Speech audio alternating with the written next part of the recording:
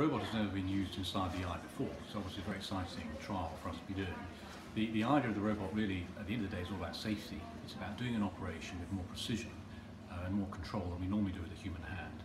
Um, we pretty much got to the stage with eye surgery where we can do a lot of operations very efficiently, but there are many more operations which we could potentially do in the future. Um, for instance, using gene therapy, stem cells. Currently, we don't have the technology to deliver the medicines because we don't have the ability to operate inside the eye with such precision. We very much hope that by developing the robot, we can enable us to do more clinical trials and develop new treatments in future. The system is designed to integrate smoothly at the operating table and can easily be included or excluded during surgery. To preserve patient contact at all times, the surgeon continues conventional operation with one hand while operating the system with his other hand.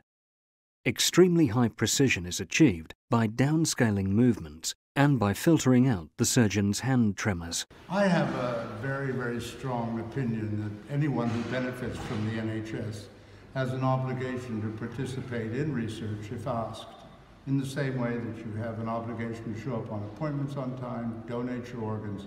It's a two-way thing, and I've been asked to participate in this, and so I responded.